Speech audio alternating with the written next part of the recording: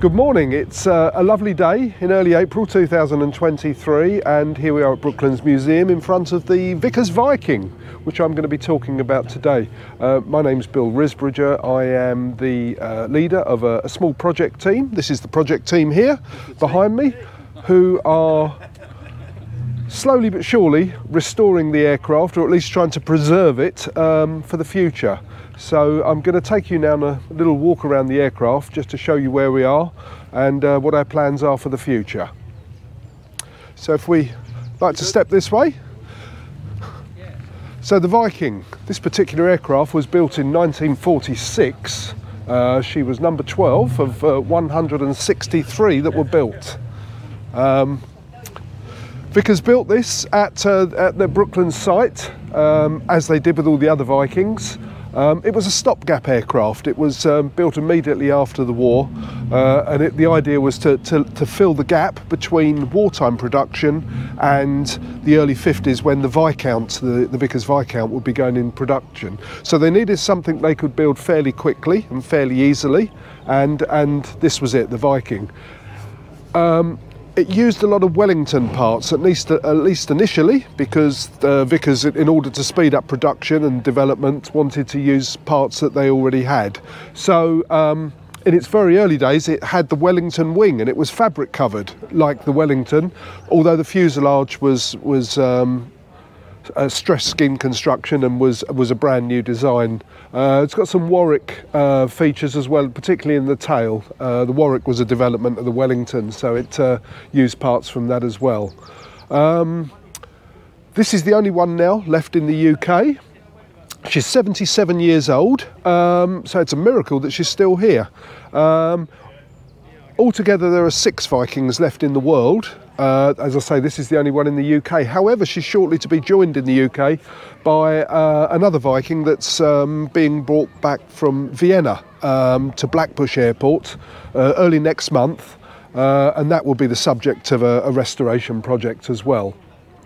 So, um, if we just step towards the aircraft, it was built uh, as a short haul aircraft, so it was intended for domestic services uh, and for European services. Um, so short to medium haul uh, aircraft. In its, this is the Viking 1A, which was the very early design, uh, and it was designed to carry 21 passengers in quite a degree of comfort. It would have been pretty much all first class in those days and plenty of legroom. Certainly, probably better than than uh, what you would get today in a, an economy seat on on uh, uh, a modern airline today. So just um, finishing with the outside. Um, this aircraft was initially operated by BEA, British European Airways, and it would have flown from Northolt Aerodrome. Um, when used by BEA, it was natural aluminium. It wasn't painted at all, other than it had all the BEA logos on it. We've had to paint it silver. We did paint strip it right back initially when uh, it was displayed in a hangar, but um, eventually, due to lack of hangar space, it's been uh, taken outside and it's now in the Brooklands Aircraft Park. Because it sits outside, we've had to paint it in order to protect it, um, and, and, that's why she's um, painted up in silver. Um, she's pretty much complete now on the outside. Um, we've had a fair bit to do.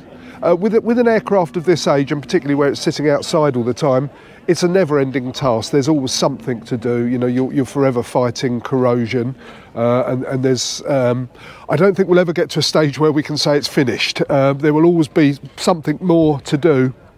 And uh, we're getting to a stage now, we've been working on this aircraft for over 20 years, where things that we did initially, we're now having to redo uh, just be, you know, because of the uh, ageing process of the aircraft.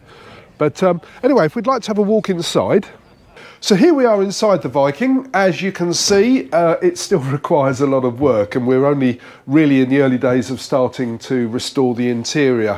One of the first problems, the initial problems that we've had is that it's got a number of uh, small holes in the fuselage and it leaks. Um, so we're, we're, having to deal with those leaks before we can really do anything else. Um, Dealing with the leaks is not as easy as you might think. Uh, even finding the leaks can be problematic, but we're working on those. We've got rid of most of them now, uh, and there's uh, still a couple more to deal with. Again, if it was inside, if it was in a hangar, the leaks wouldn't be a problem, but because it's outside, um, we do have to make her watertight. So as you can see, um, fuselage, it, um, it, uh, it was designed, as I said before, to carry 21 passengers. So um, interesting feature of this aircraft was the wing spar. As you can see, the wing spar went right through the middle of the aircraft. Um, so passengers had to climb over the wing spar in order to get to the forward cabin. But I'll explain that in more detail in a minute. If we go ahead, we'll start with the, uh, the cockpit. It wasn't open plan like this. Um, so this will be the cockpit. Um, in its uh, when operated in by BEA, it would have had three um, three crew working in here. You'd have the captain on the left, first officer on the right, and just about here would be the radio operator. So there would be a large radio rack here uh, with um, several large boxes, as they were in those days, uh, for for the radio operator. We do have most of those radio um, boxes and they will be restored in due course. We also have made up a replica radio rack that will be going in here in due course. Um, the centre console, we have a centre console. It's off a Varsity, but it's very, very similar to a Viking. The only giveaway, if you look closely at one of the levers, it says bomb bay doors, which of course the Viking would never have had. But that will go in in due course. We also do have the instrument panel uh, for the front here and over the top. That's in store at the moment. It's in our radiation store because like most instruments from that era, they used a paint that was slightly radioactive uh, and so it's uh, locked away. Uh, one of our initial problems in terms of working in the cockpit is the windows. Um, although they're pretty much they are original, they all leak at the moment around the edges and you can see you can see the mess and the corrosion that causes. So we're um, if you look outside, a colleague of mine at the moment out there, we're putting scaffolding up at the moment so that we can take all of these windows out, um, clean everything up, uh, treat the corrosion, paint them, and then put all the windows back in uh, and make them watertight. In heavy rain, the rain does leak in here quite quite a lot and it gets very wet inside which is of course something we, we've got to stop so um, so that's uh, what we're working on the, on at the moment is making the windows watertight um, once that's complete we've got to put um, this was a hatch. Um, they called it a crew hatch. I don't think the crew used it very often. They probably came in by the main passenger door but there was a crew hatch here and you can see another hatch underneath. That will be replaced and we'll put that back in. Um, that gives you a quick glimpse into the hold. The hold was for carrying cargo and uh, obviously passengers' bags. By modern standards, a very small hold, but um, Vickers, in their advertising at the time, ad, uh, referred to it as capacious. Um, I guess it was for the era. So, just about here, in fact, you can see the line just there. This is where the, the bulkhead will be put back in, uh, and that will divide off the cockpit from the uh, from the passenger cabin. So that has to go back in, and there will be a doorway here. Um, so the forward part of the passenger cabin goes from the wing spar to where the, the bulkhead will be here. And in its original format, there were six seats in here. Um, the seats were large, they were comfortable. You had two on this side and one on this side, and they the, uh, the first row were rear-facing seats. Uh, and then we had another two seats here, another single seat there, and they were forward-facing. And then uh, between the seats there were tables, a bit like you would find on a train today, particularly in first class.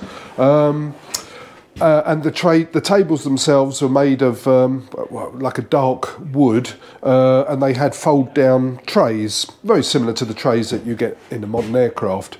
The seats had uh, lights built into them, and they reclined. All, uh, and they had levers that you pulled so you could recline the seats. And you know, for six seats, it was a fairly large area here, so you flew in a, in a degree of comfort.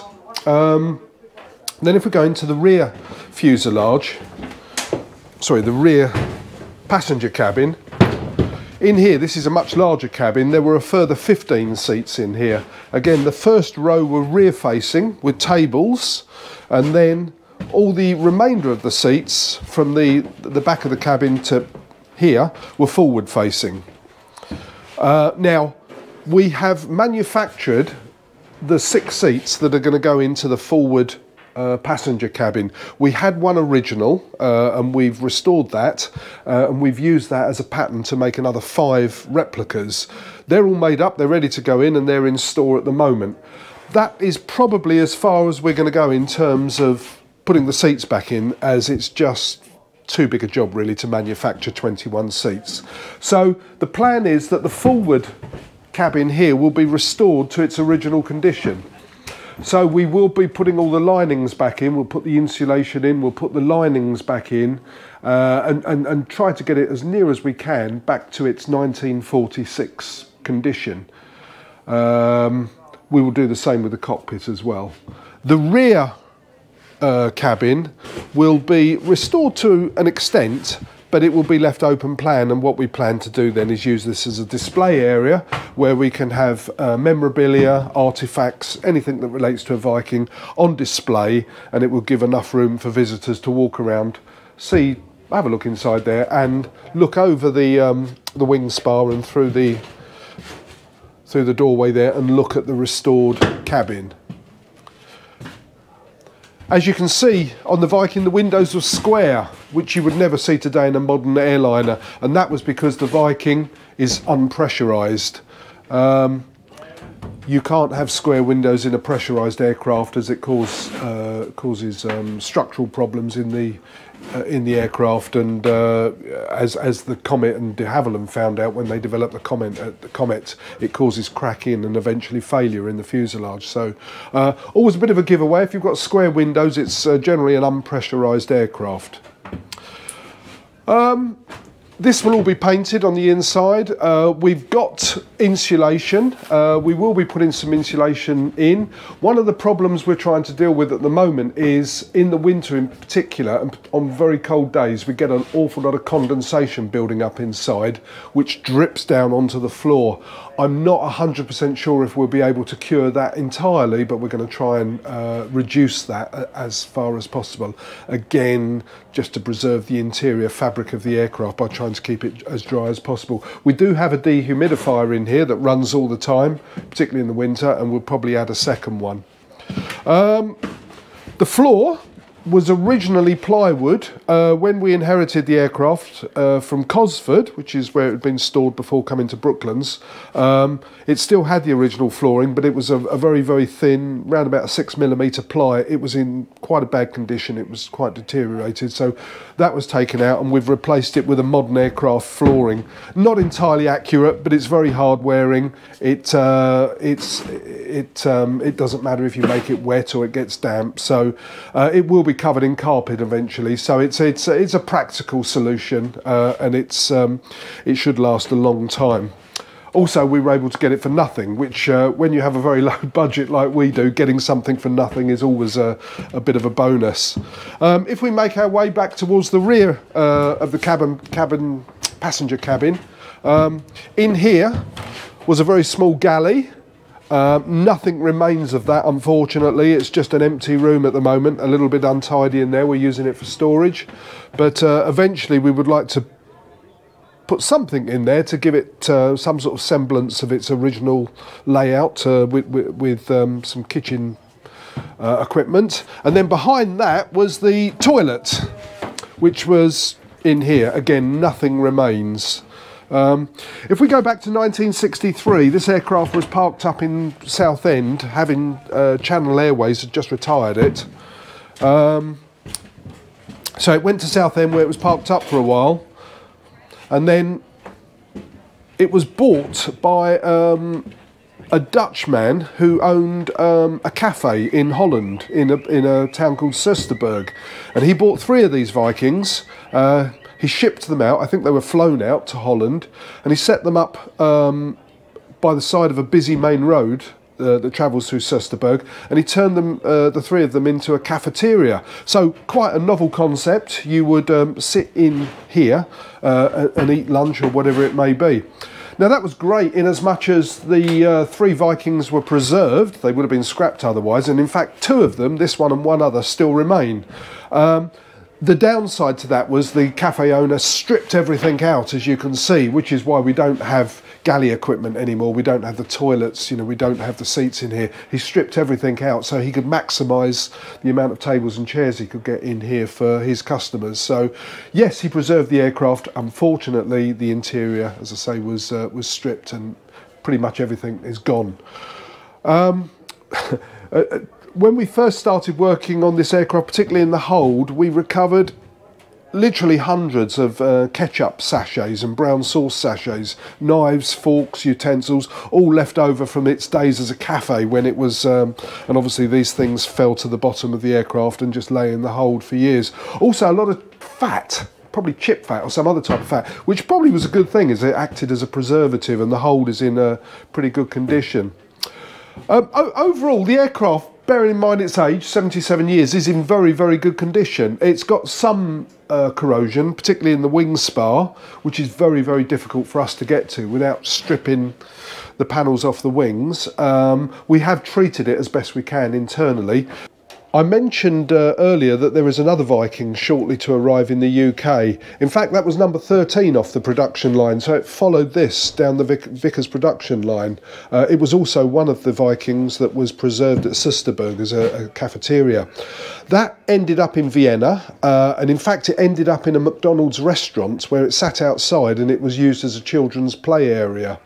Um, a small team have um, uh, been put together uh, and, and they're bringing that Viking back to the UK. Uh, they've fortunately had some funding from British Airways uh, to pay for the cost of the transportation, which is not insignificant.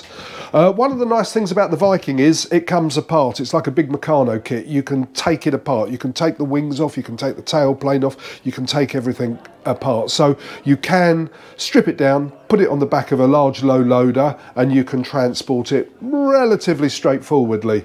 Uh, so that's due to arrive at Blackbush um, either the end of this month or early next month. Uh, we've been in fairly close contact with that team um, to give them the benefit of our experience, and uh, we will be obviously helping them as, as much as we can.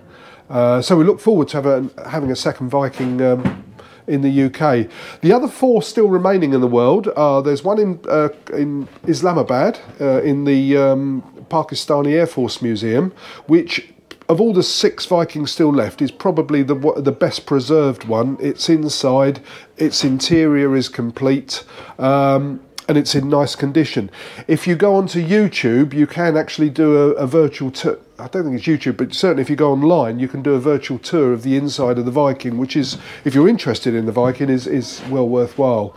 Uh, the other three remaining are, there's one in Argentina, which I don't know very much about, but that was a Viking 1B, which was a slightly later model of this.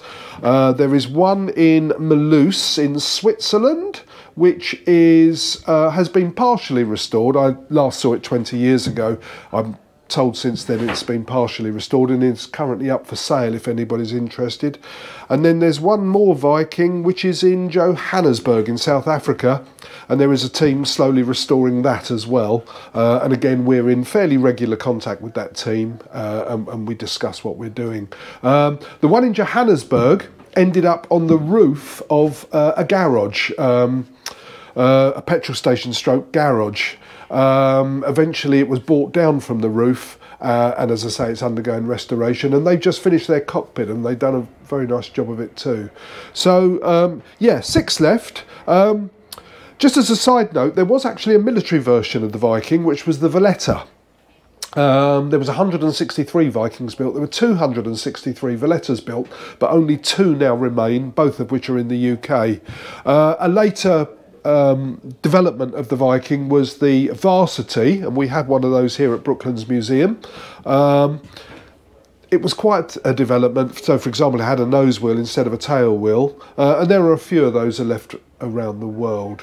So this year, um, we have made up ducting, um, which is not here at the moment, it's in the store, but um, in its original format there was metal ducting that went the whole length of the cabin fuselage and built into the ducting uh, was cabin lighting. It was also uh, used for uh, ventilation as well, so we've remade all that ducting and that's ready to go back in. We luckily, fortunately, had one original light fitting, which is very Art Deco when you look at it, and we've been able to use that to manufacture uh, six or seven other light fittings, ident- all identical. So they will be fitted into the ducting.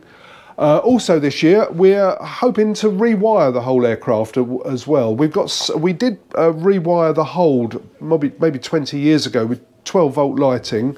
Uh, it's halogen, which of course nobody uses now. So um, this will be rewired uh, with a 12 volt system uh, and we will use modern LED just because it's easier to put in. Um, it's uh, obviously the parts are easy to get. It will look original, but we will use modern LED lighting. And uh, we'll also, at the same time, as well as putting the cabin, original cabin lighting back in, we want to put some additional lighting in uh, for display purposes as the cabin lighting in itself probably won't be sufficient. Um, so that's hopefully going to happen during the summer. The other thing that's going to happen, uh, hopefully in the early summer, is we're going to put all the markings back on. Um, if you've seen the outside of the Viking at the moment, it's just plain silver. So we're working on on um, or designing and getting our measurements right and designs right for the outside um, markings. And so, if you were to visit, certainly by middle late summer, hopefully she'll be back in all in in her uh, British European Airways markings. Um, once we've got the cockpit windows done, then we should be continue to work on the cockpit and uh, on the main cabin itself, putting the uh, insulation back in and, and possibly starting on the cabin linings as well. Well, I hope you've enjoyed this quick uh, resume of um, what the work that we're carrying out on the Viking at the moment. Um, and in due course, we'll give you an update uh, just to show you progress as, as we continue on. Um, thank you.